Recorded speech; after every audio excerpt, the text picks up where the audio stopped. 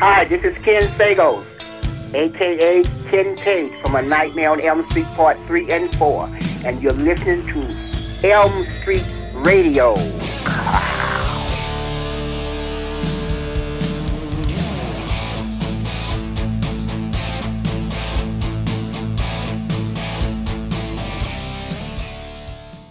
This lump over here, this is Kincaid, and I want you to take a good look. See, he gets himself thrown in the quiet room so often that you probably won't see a whole lot of him. Ain't that right, Cool Breeze? Right. I do it so I don't have to look at your ugly face all the time. Welcome to Elm Street Radio, Fred Heads. I am your host, Deandra, and today I have a special guest co host. You remember him from our discussion of the alternate script for Nightmare on Elm Street 3 Dream Warriors. Of course, it is author and my good friend and super Nightmare fan, Anthony Brownlee. Welcome, Anthony. Hello, out there, Nightmare fans. And to accompany us today in our discussion is none other than Kincaid himself, Ken Sagoes. Ken, welcome to the show. I'm glad to be here. It's just a great honor to be here. Thank you for inviting me. Absolutely. Uh, I've mentioned this many, many times uh, when I talk about Elm Street, and Kincaid, of course, is one of my favorite characters in the franchise. He always makes me laugh. Um, we did Paige and I, um, who could not make it today, unfortunately, because of technical difficulties, as always. We had a list of our top five favorite non-traditional Freddy kills. I guess when people usually make lists, they always will have certain nightmare kills that they will list in the top five, and they're fairly predictable. But my top one, and I believe hers was, or her yours was one of them, uh, but my top one was yours um, from part four. Unfortunate as it is, I love when you tell Freddy that you'll see him in hell, and he says, "Freddy, tell him Freddy sent you." And I just love that whole thing, the resurrection by dog pee. I mean, it's it's a wild, wild scene, but but I love it, and of course, I love Kincaid. I'll you hell. Tell him Freddy sent you. Oh, thank you, thank you. It was that, that's my favorite too. It's it's it's my favorite killing. But I guess it's the only killing I've had. So, but um, yeah, I really really enjoyed it. Thank you for letting it be a part of it because there's so many great. I hate to say this word, killing in Nightmare on Elm Street, and to be one of the top ten is is really really great. now, were you sad when uh, you realized that Kincaid had to go? Was it like you know you read the script and you're like we kind of like this? Oh man, like you know that feeling. Oh, oh yeah. I guess uh, then uh, I was more sad that no more checks. So let's, let's get to let's get to the real nightmare. Oh, no more checks. uh, but you know, of of course, but you know, but um, you know, but you know, like I always say, being an African American that survived a major horror film and returned to a sequel, I, I I made history, and so that was twofold there. You know, I had made history, and I always say they forgot to kill me, and then said, "Oh, let's go back and do this right." So, but but yeah, I was somewhat sad, but I think the way they did it, they gave my character such homage, and I think it was a setup that I was going to come back because my character is the only one that says to Freddy, "I will see you again." And so I think that, and there was rumors, I don't know how true they were, that Kincaid was supposed to come back in a future uh, movie and fight uh, Freddy Krueger. So, and I think there was a setup that just didn't go through. I heard Wow. that too. I heard Yeah. that Kincaid was supposed to come back, and I know that he comes back in some of the comics, and he can actually turn into a panther, a black panther, which I think is really, Really? interesting. Yeah, yeah. yeah. Oh, Are you for real? Well, I was Yeah. somebody show. You mean I was a Black Panther and didn't know it? Yeah. Oh, wow. I gotta call in to this show more often. Yeah, yeah, Yeah. which I think is it's really definitely in cool. the comics. Yeah. Yeah, 'cause You there's know like how I a can handful just- of the Dream Warriors that come back. Like a few of them, like they turn to like Jennifer. She comes back and like she's like a her head's in the TV, but she's like a like a fighter. And then Jennifer or uh, Taryn comes and she's like something in the dream. It's like so all you all had like a certain dream power still within the dream. Yeah, and Kincaid is one of the leaders of the Dream Warriors when they come back. Well, why didn't somebody tell me? We're telling you now. I guess I should have. I guess I should have called in to um, Elm Street, uh, the station, a long time ago. Is there, is there any copies out there that I can find? I would like to see that. Really. yeah, um, there are some physical copies, but I can get you a link to Nightmare on Elm Street Films.com. They have the comics online that you could also read right right there. So I can get you a link to those. And I love I loved reading that. I was like, why didn't they put that in any of the movies? Why didn't he turn into a panther and take out Freddy in part part four? That would have Wow. been so cool. Right. Wow. Wow. Yeah. Wow. It would have been nice if the wizard could have turned me into a panther. You know, hey, it's, uh, I'm, I'm, I'm, I'm, I'm at a loss of words, which is very rare for me, right, Anthony? it is. Oh Oh. my goodness, what have I done? I've united the two sass pants. Yes, I was a panther before the Black Panther movie come out. You should have never told me that. You were the original. When we had Ira on, we told him he was the original Harry Potter, and you were the original Black Panther. So, right. wow. You, Yeah. you know when we have our Q and A, I'm gonna talk about that, right? Oh my goodness. Oh yes. Yes. That'll be amazing. I will get you the link. I will get you the link uh, before that. So, um, you know, that that that brings me to another point. Um, well, actually, before we get to that, I kind of want to touch on how you're not only an actor, but you're really a writer. Um, you've done a lot of writing for shows. Uh, you, you've just done a lot, which Anthony can uh, relate to as a writer himself.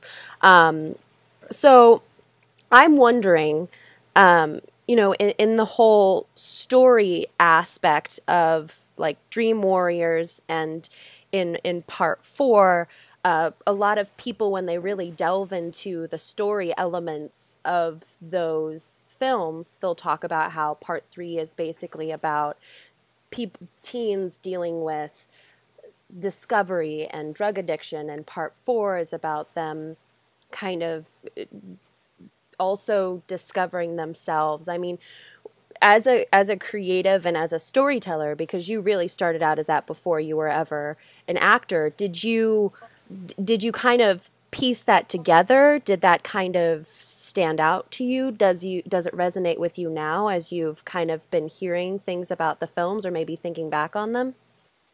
Uh, You know, for me, as I think back out out on them, I don't know if uh, you've heard my story, but I was not familiar with the Nightmare on Elm Street series.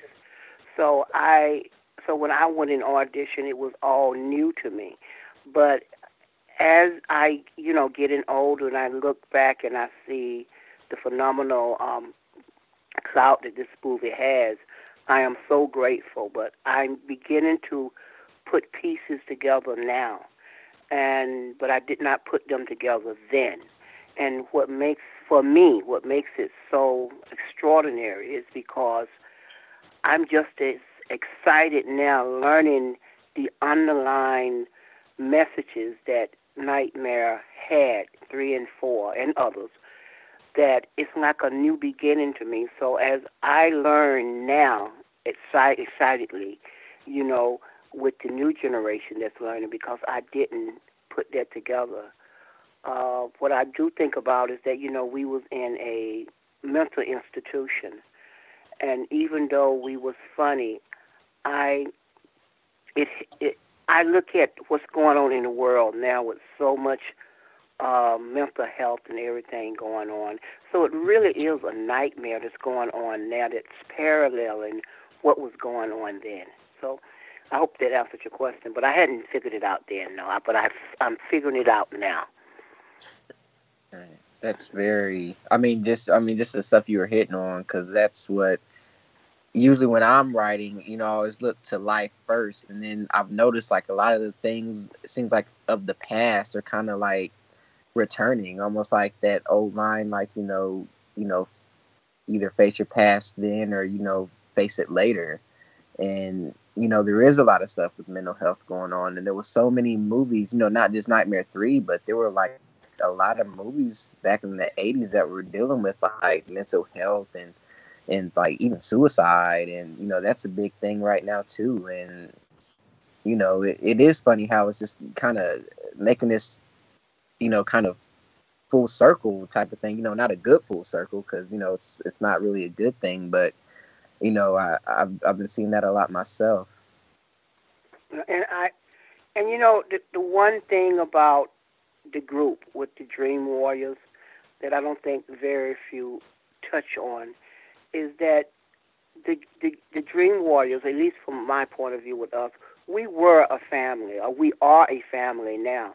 But the other thing about it, what made the Dream Warriors so good, is that they were loyal to each other. Each one of them was loyal to each other, and loyalty has a lot to do with holding on to something.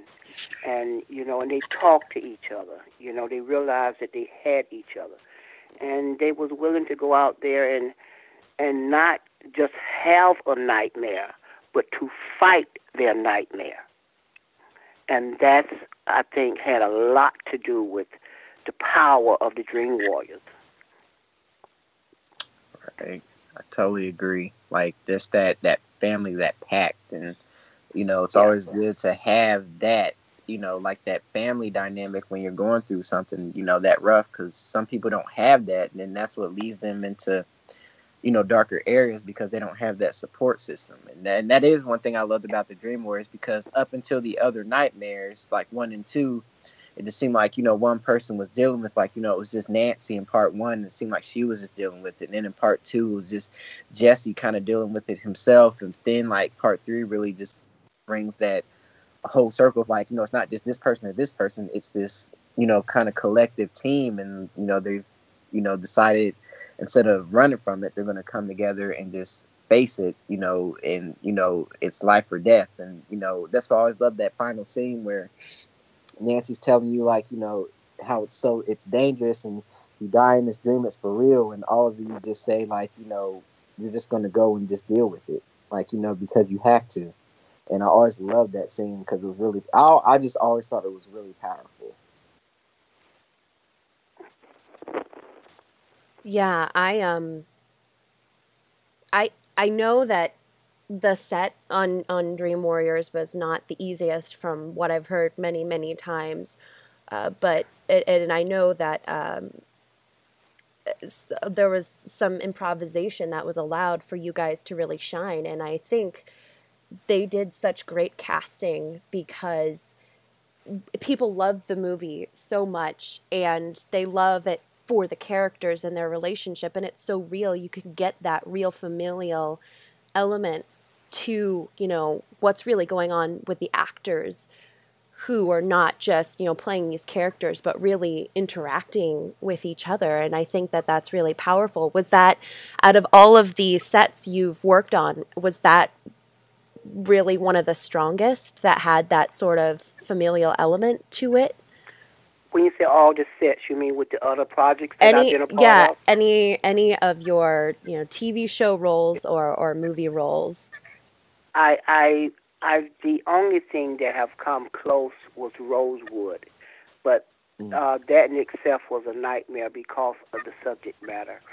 But Nightmare on Elm Street three and four, I had the gift of being on some great sets. The set designers and all of them, they built some wonderful sets, you know, that was real. When we was doing the the hell scene where we was walking down in that dungeon, it was really hot in there.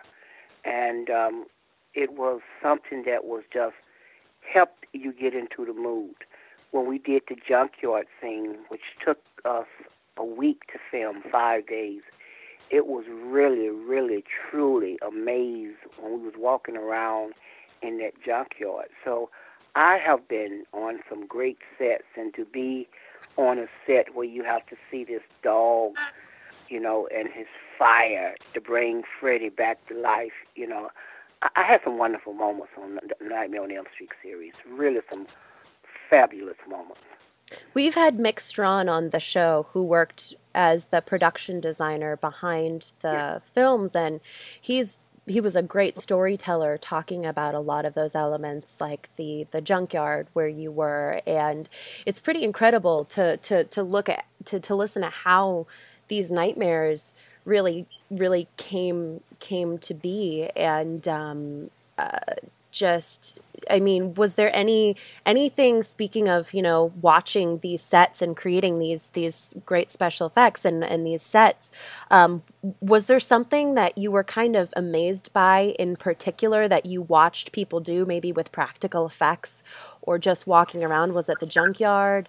Um, what what kind of stood out we to you? Was, we were actually in a junkyard, and uh, actually junkyard, but they had went out there and they was able to fix some things to uh, maneuver around where like that car that moved around. I didn't see that car move until I was actually they was getting ready to actually film that shot.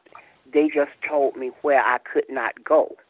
So when I saw that car move, that was an actually scare, you know. Um, you know, so a lot of the things that they did not tell me that was going to happen until it happened.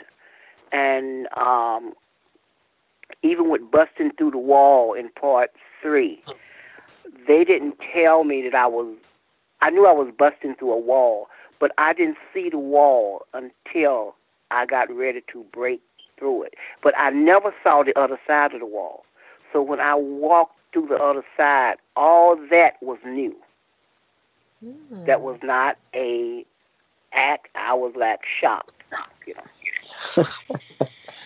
That's so interesting. Speaking of bursting through walls, um, there is I, I don't know, Ken. This is this is another fun fact. Maybe you've read it, maybe you haven't. But did did you ever check out the alternate uh, script to Dream Warriors before the final script, the one that ha- was was written with Wes heavily involved? It was much much darker.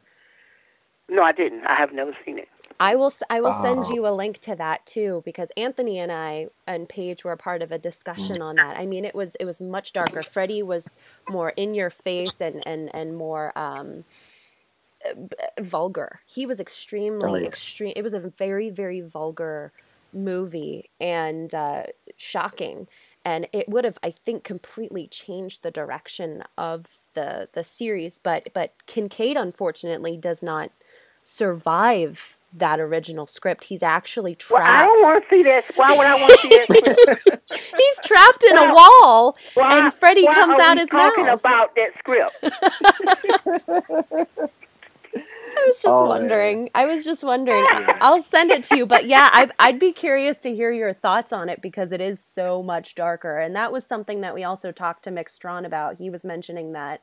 Um, that the the series took that kind of comedic turn a little bit more because of Robert's personality, and they thought it, it would add some um, uh, color to the story a little bit more. Um, which I thought the story sold itself in any case and would have become an icon in any case. But it was really You know, interesting I know-. I may get in trouble by saying this here. I don't think Wes Craven and uh, Chuck Russell and all of them decided to go into comedy to make it funny. I think what they did, they were very creative and made those characters real. And they allowed the actors, the I mean the characters, to possess the actors and bring those characters out. And what was brought out was real, you know, because Yeah. in, in real life, I think my character would have talked trash just like he did. In real life, I think Ira, the wizard, because that's what he loved, he would have acted that way. I don't think it was written to be funny. I think it was written to be real, and funny came out of it. That's a big difference to me. Mm-hmm. And Yeah. you know, and um, and so that's the thing because I hear people saying that it went to comedy, and I don't think it went to comedy. It re- went to realism, and there was some comedy in it. And Robert Mm. Englund is such a phenomenal actor. He can really do anything. The world does not know Robert Englund talent like they should. Yeah. Seriously. If you spend 10 minutes with Robert Englund and just listen to him, you would probably think he graduated from Harvard. But uh, with the knowledge that he has. And so um, I think that's what it was. For Robert Englund to be able to play Freddy the way that he plays him, it's to me it's just phenomenal. Now, I'm not saying that another actor cannot play Freddy. I happen to believe that you know there is another Freddy out there. It's just that there's not not another Robert Englund that can play Freddy the way he played Freddy out there. Right. Right. Absolutely. Yeah.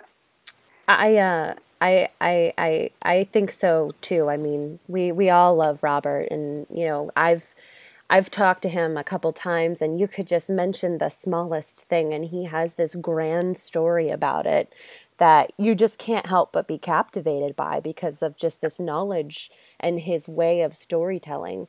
Those two combined create such a, a moment that you just totally suckered in and i've seen several of, of robert's performances but i'm sure that doesn't even scratch the surface because he's just absolutely phenomenal phenomenal um, but did as as a writer and even though kincaid got killed off a little bit too early in part four um, for my much, much, taste mu- wait, wait, wait. much, much, much too early. I just yeah. had to throw that in there. Much too early. way too early. Um, did you, with the writer's strike, did you happen to have any input even on maybe your scenes at all? No, I, I, I didn't. You see, before I was an actor, I was actually a staff writer at Paramount, and uh, so I had learned early on in my career that you wear one hat, and the hat that they had given me was the hat to act. And I don't felt that I had the position to come in there and put on a hat to write. Now, if they had asked me, oh yes, they would have let loose. I would have let loose some stuff, but I was not asked that, and I was appreciative and grateful that I was brought back because my character was actually in the breakdown two weeks before they brought me back, and what that meant that they was maybe wasn't settled on bringing me back. I don't know, but it was in the breakdown. Um, but no, I had nothing to to do. Uh, Chuck Russell and uh, Renny did ask Rodney and I our opinion, and we gave him our opinion. And my only opinion that I want to really say is, why can't I die on page 102 instead of page 10? Yeah, yeah.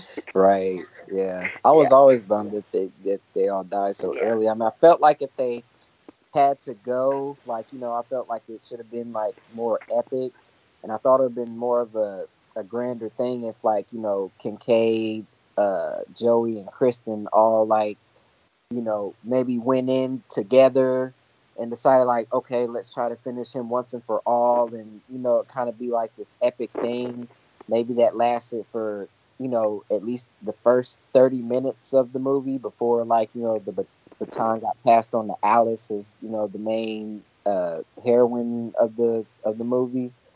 I just thought i mean you know just me personally i've just always kind of like you know kind of daydreamed about that a little bit. Just thought that would have been like more grander because they were supposed to be the dream warriors and i felt like they should have gone out more of like you know warriors as a group like you know like they did in part three.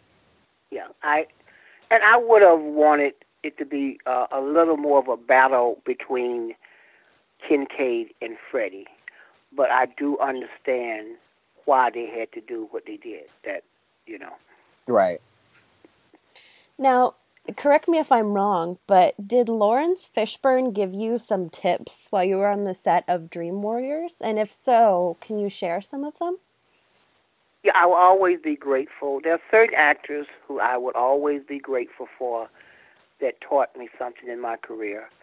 Laurence Fishburne taught me how to do physical acting. And I and he like a big brother, he took me to the side, held up his finger, and said, You do not have to do all this. And he told me what to do.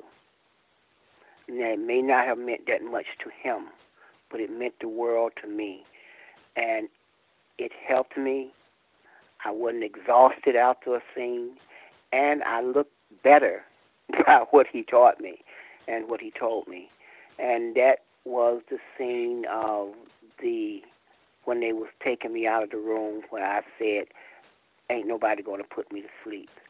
Uh, we must have shot that scene about three or four times, and um, well, more than that. But but each time I would give my all. But Laurence Fishburne took me to the side and talked to me, and I needed that. And every time I see him, I thank him. That's awesome. That's that's really fantastic.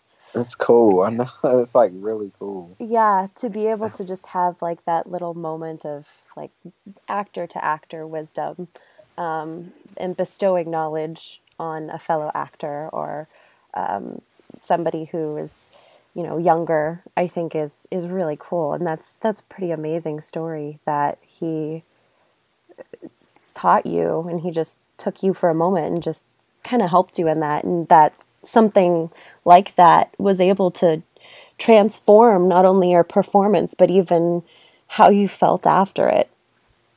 No i think i i was a new kid on the block. I'm older than him by the way but i was a new kid on the block. But um, and I think he was passing some knowledge down to me because I was represented, and he wanted me to be represented right mm-hmm. because I wasn't just representing myself; I was representing him, and mm-hmm. and he he passed on what so many of us don't do and what so many of us need. I mean, Nightmare 3, and I can only speak so wholly on Nightmare 3, is that Robert passed knowledge on to us. Heather was phenomenal in being a big sister to us. Everybody passed on something to each other, and I think that's why we're family, you know, you know, and that's what it was. Oh, I love that. Yeah, I remember we had talked about that a little bit. How you told me, uh, yeah how you and uh, Heather would, would like have talks like in between scenes and such. Like you know, if you come, you know, see if everybody was okay, or you know, come to trailers and see how everybody was, and just talk. And I just always thought that was you know just like so cool. And no, she actually. She actually did that. She would she came to you and she would say, "Are you all right?" Because I didn't talk that much, you know, and I was actually working on something. So I would go back to my dressing room and I wasn't uh, so involved. But she would actually come around and say, Are you all right? Um, Patricia Arquette, I didn't have a car at the time. She took me home, and I, and I never forgot that. She took me way, way out the way. And it's those little things that you don't forget, you know. And um, hey, it, it was just there. We are really a family. That's so cool. I'm I'm like so glad to hear that about you guys because you know most of the time you hear about you know these movies and you know people talk about like you know their uh how it was on the sets and things like that. You know, it was fun like we were filming it and like you know some people say like oh we don't really talk anymore that was years ago but to hear you say that and just like you know and to see you guys interact with the conventions like you know because you know me and Deandra we've been to a lot of conventions and you know we've seen you guys, and it, like we're just always laughing because you know you guys are always just like joking with each other, like you know, you know, like regular like you know brothers and sisters, like how they would just goof around and sometimes I just like just sitting back and just like just watching y'all, and it is it's just it's just funny to me because you know you don't you know it you just don't see that a lot, you know. Yeah. We all are individuals, uh, but we all are family, and that is really the truth. I mean, I can't say it enough because that's just really what it is. We don't see each other every day or every week or every month, sometimes Right. years. But when we do see each other, it's those three dots behind it, like we just saw each other yesterday, and that's what counts. Right. Totally. Right. I um I have to say something. Um, you were in Intolerable Cruelty. This is like totally out of left field.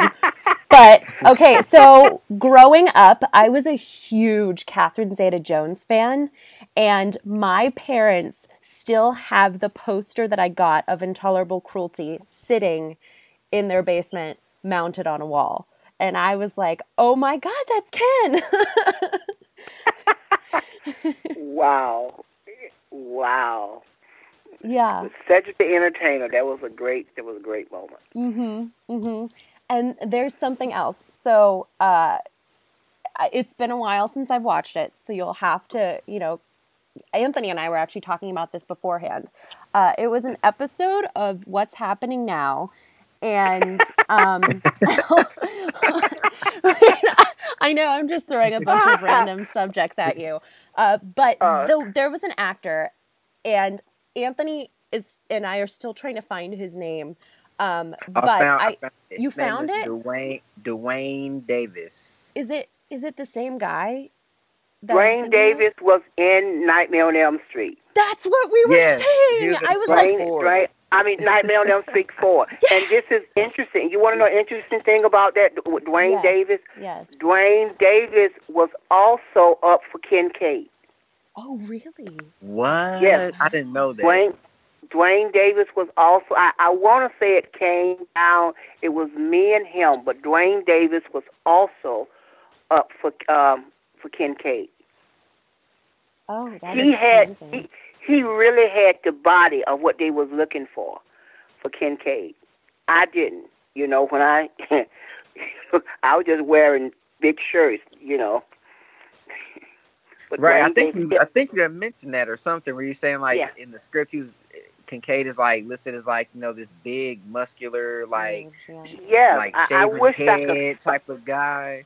Yeah, I wish I could find that breakdown. It was nowhere near me. It was like, why am I going in there? And I, and I think my agent at the time, he wanted me to go. Uh, he said, just go. So you, this is the way I can get you to meet the casting director because she's going to be casting some other things down the line. So it was more for me to meet the casting director, but it, it turned out that it was a great blessing and everything. But I knew Dwayne uh, very well at the time, and um, I know that he was up for that role. I know he got called back um, two or three times. Yeah, I knew it. I, kn- I recognized his face immediately. I was like, that is Mhm. Super weird because I, I swear that that is the same guy, but I can't find it anywhere to confirm it. And lo and behold, it is. I was actually watching The Hidden, Jack Sholder's The Hidden, and I recognized the dog in there, and I'm like, that looks like Kincaid's dog Jason from part four. And lo and behold, it was. It's crazy. It's it's it's like uh, uh, it's amazing. You know, I guess it would be the same time period, and everyone's kind of working on all the different stuff, so the paths would cross. But I still felt that that was really really interesting. And and and might I add that uh, I was having a conversation with Heather, and she told me I should run for political office. And if I did, I would hope that Daryl would help me out in running for political office. Put him in a sign, you know, help him write my slogan, all that. I thought the slogan was catchy.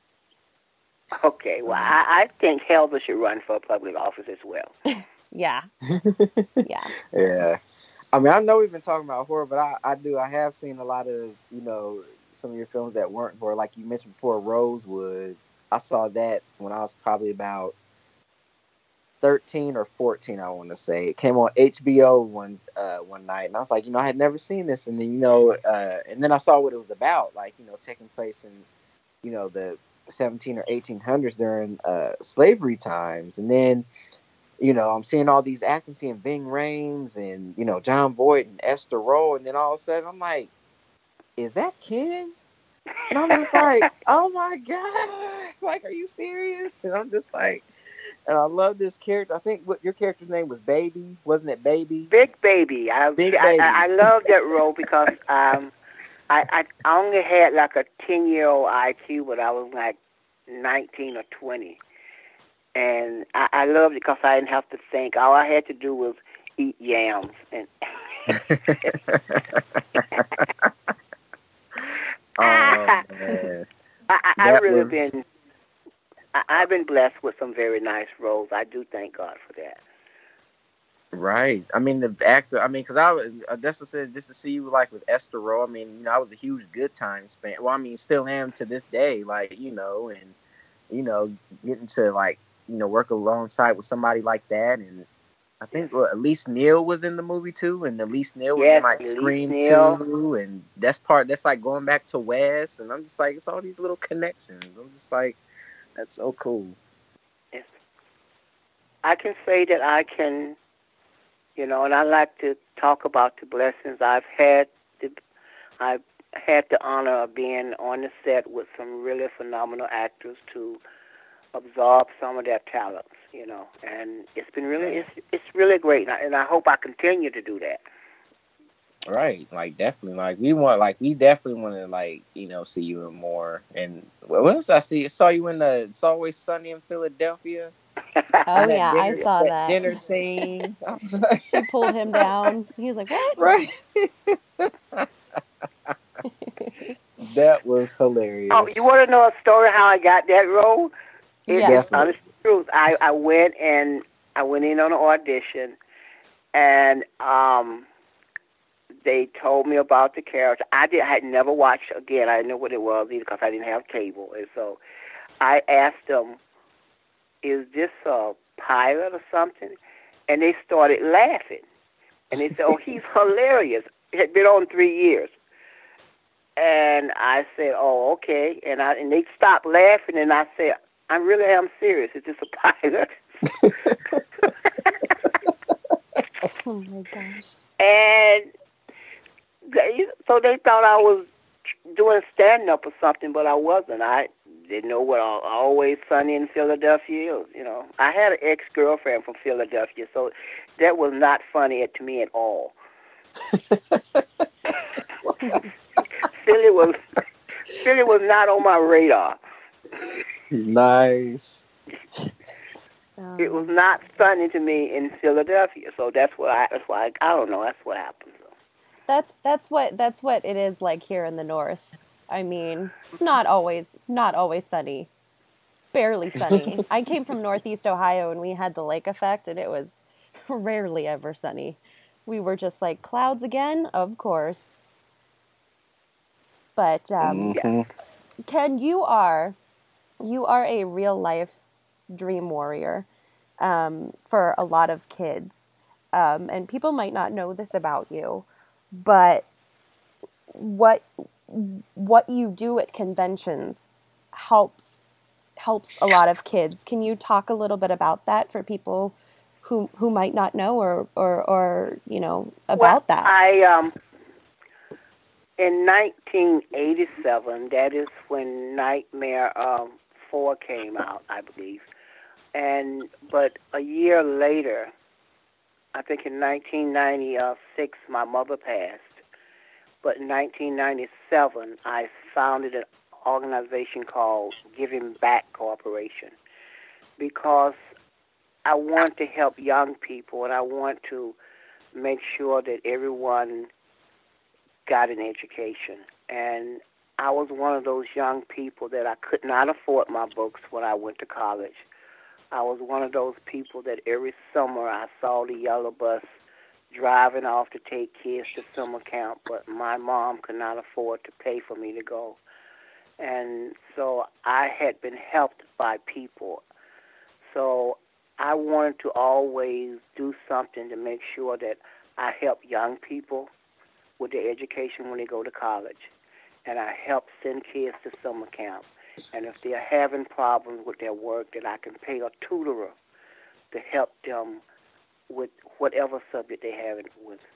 So, with all that being said, all my signing at the uh, at the uh, convention goes toward my organization. It is a nonprofit 501c3 organization that I founded in 1997, and so far I've helped put over 400 kids through college.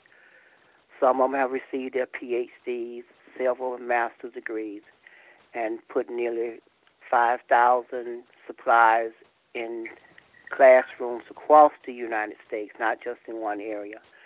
And I continue to do that. So if you just come by my table and whatever you purchase, it doesn't go to me.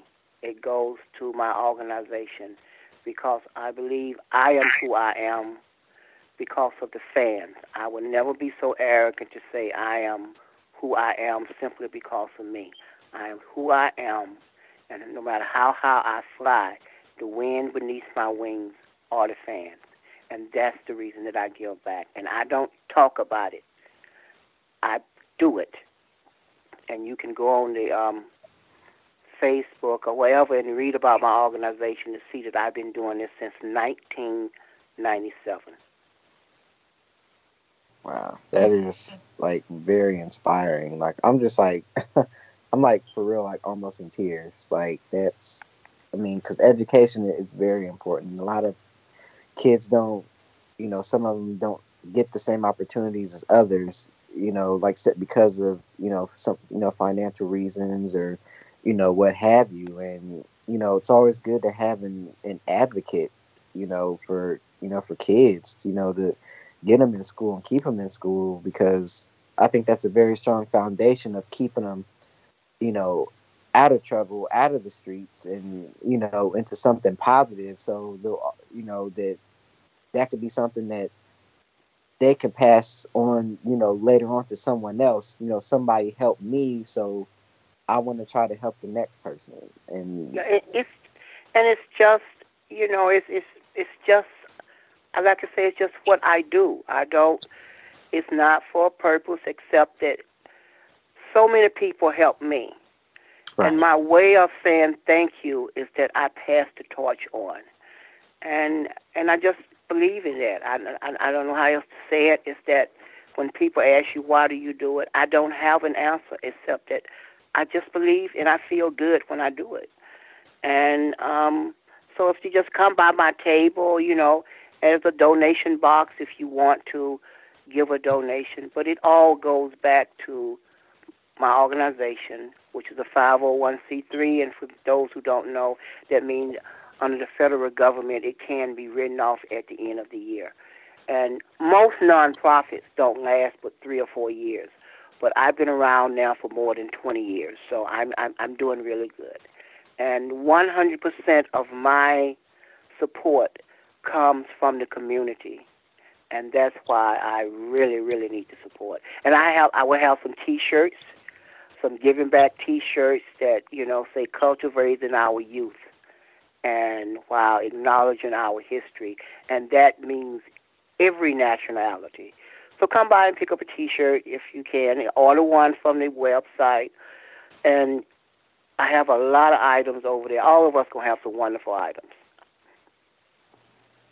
Fantastic, because you know things like this um, being the change you wish to see in the world is really the catalyst for change, and there's only going to be a ripple effect from there. So, absolutely, Ken, and and you know, Ken right now is at Days of the Dead in Indianapolis. Um, so his table is is there. Um, so go by and if you want an autograph, if you want a donation, Ken has a lot of different items that you can pick up. And like he said, the proceeds go to his organization and they help out kids, and it really makes a difference.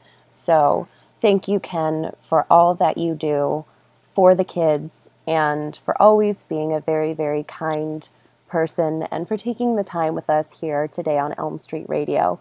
Is there anything that we can uh, maybe catch you in in the future? Are you directing or writing any upcoming movies? I'm, I'm writing now. I, I'm writing now. I, I um, I'm, I'm, um, I'm, I, I'm writing a story. and I don't want to talk about it now, but I am writing a great story. And so, uh, and I enjoy writing. And Anthony can tell you. I think Anthony is a little better writer than I am. But hey, but you know, I I get that one day. So, You're an awesome Oh, by- writer. by the way, by the way, Mr. Anthony, uh, I do have a T-shirt your size this time. Okay. Okay, I'm gonna I'm- come I'm- by I'm just- there. I'm just throwing it out there. Just throwing it out there. Okay. I'm gonna look. I'm gonna look for it when I get there. Okay. Okay. Gonna be there for Anthony. You know, you gonna you gonna you gonna you gonna get that T-shirt this time, right? Mm-hmm. I'm gonna get it. Okay. I, I, I know he gonna. Ed, he Gonna have my edit it. name on it, right? Oh, I write your name on it. If that's what you want. I just pardon me for When- when you- being modern, you but I can't with you you- guys. when you buy a T-shirt, I would write whatever you want on there. Mm-hmm.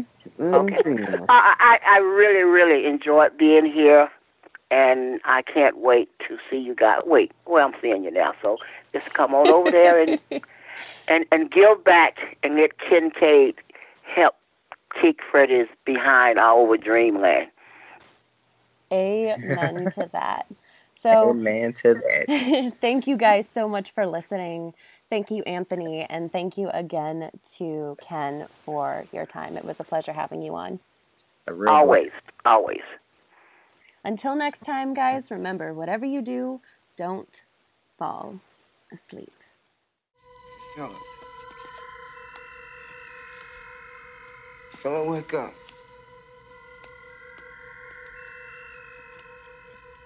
Have a nice stroll, asshole.